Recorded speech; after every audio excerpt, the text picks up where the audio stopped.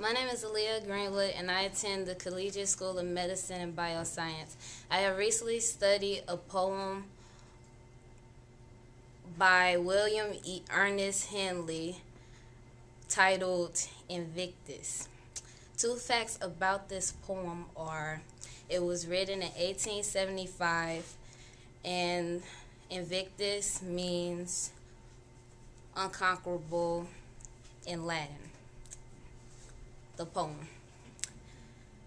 Out of the night that covers me, black as the pits from pole to pole, I thank whatever gods may be for my unconquerable soul.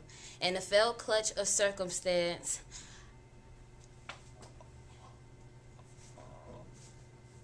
I have not winced nor cried aloud.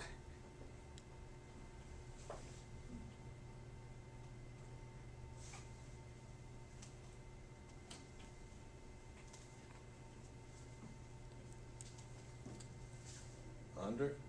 Oh, under the uh, under the under the bludgeonings of chance, my head is bloody, but I'm bowed.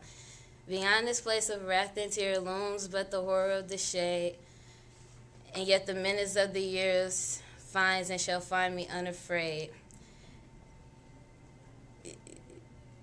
In It matters. It matters not how straight the gate. Um,